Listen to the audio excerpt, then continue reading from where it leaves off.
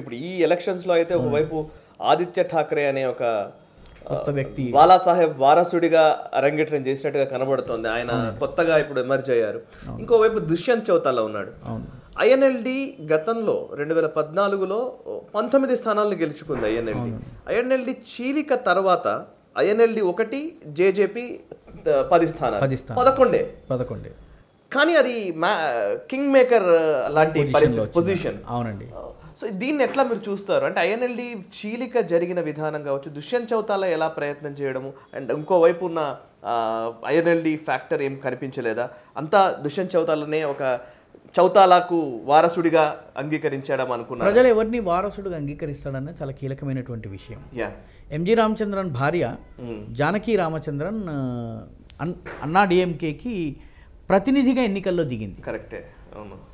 MG రామచంద్రన్కు భార్య కానటువంటి party general secretary అయినటువంటి జయలలితను ఆయన శవపేటిక ఉన్నటువంటి బండి నుంచి కిందకు దోసేశారు జయలలితని. కరెక్టే. తర్వాత ఎన్నికలు జరిగినాయి రెండు నెలల తర్వాత. జయలలిత గెలుపు ఘన విజయం సాధించింది ప్రభుత్వాన్ని ఏర్పాటు చేసింది. వేర్ ఇస్ జానకి జాన్ రామచంద్రన్ టుడే ఆమెని నమ్ముకున్న వాళ్ళందరూ కూడాను జయలలిత దగ్గరికి వచ్చారు. కాబట్టి పాలిటిక్స్లో వారసత్వాన్ని ప్రజలు ఎవరికి కట్టబెడతారన్నది కీలకమైనటువంటి విషయము. దుష్యంత్ యంగ్ లీడర్ కావడం మోడర్న్ క్యాంపెయిన్ టెక్నిక్స్ని వాడటం జాట్ యూత్కి అప్పీల్ చేయటము దానివల్ల ఆయన టెన్ సీట్స్ గెలుచుకోగలిగారు. కింగ్ మేకర్ కాగలిగారు. అంటే జాట్ కమ్యూనిటీని పూర్తిగా పక్కన పెట్టి హర్యానాలో కానీ మరాఠాల్ని పూర్తిగా పక్కన పెట్టి మన మహారాష్ట్రలో కానీ రాజకీయాలు చేయలేము. మహారాష్ట్రలో అయితే క్లాసిక్ కేసు శరద్ పవార్ని దేవేంద్ర ఫడ్నవీస్ ఒక స్టేట్మెంట్ ఇచ్చాడు. అది చాలా బ్యాక్లాష్ వచ్చిందని నా వ్యక్తిగత అభిప్రాయము నేను మాట్లాడిన మిత్రుల నుంచి కూడా వచ్చినటువంటిది.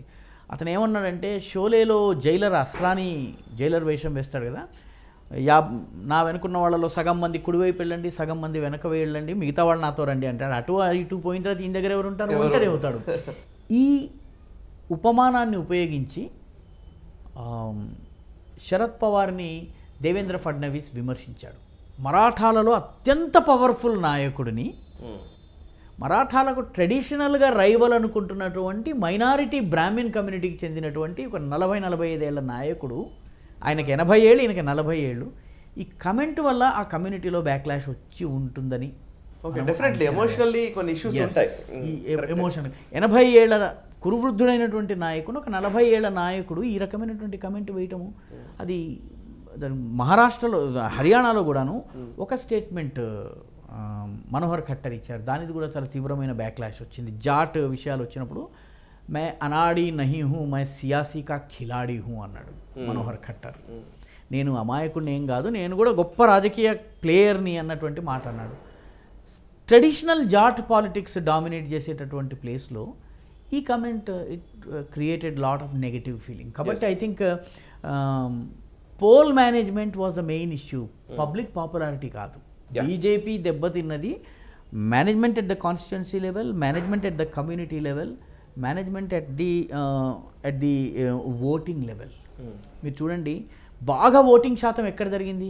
కొల్హాపూర్లో జరిగింది. మీకు సాంగ్లీలో జరిగింది. సాంగ్లియా? బీజేపీ నామరూపాలు లేకుండా ఓడిపోయింది.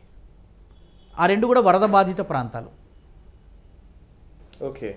బాగా వరదలు వచ్చినటువంటి ప్రాంతంలో చేసినటువంటి ఏమీ చేయలేదన్నటువంటి భావం ప్రజల్లో ఉంది కాబట్టి అది ఎదురు తిరిగింది. మిగతా చోట్ల తక్కువ పోలింగ్ శాతం జరిగింది. BJP perform fairly okay. కాబట్టి it's a combination of factors ఇప్పుడు మనం వెనక్కి తిరిగి చూసుకుంటే మనకు అన్నీ కనిపిస్తాయి మనకి కానీ.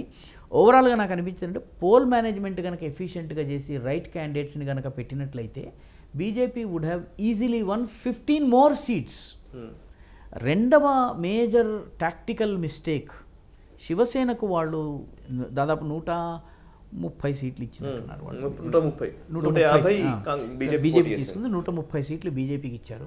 స్ట్రైక్ రేట్ కనుక మీరు చూసినట్లయితే బీజేపీది seventy seventy eighty percent strike rate ఉంది. శివసేనది around forty to between forty to fifty strike rate ఉంది.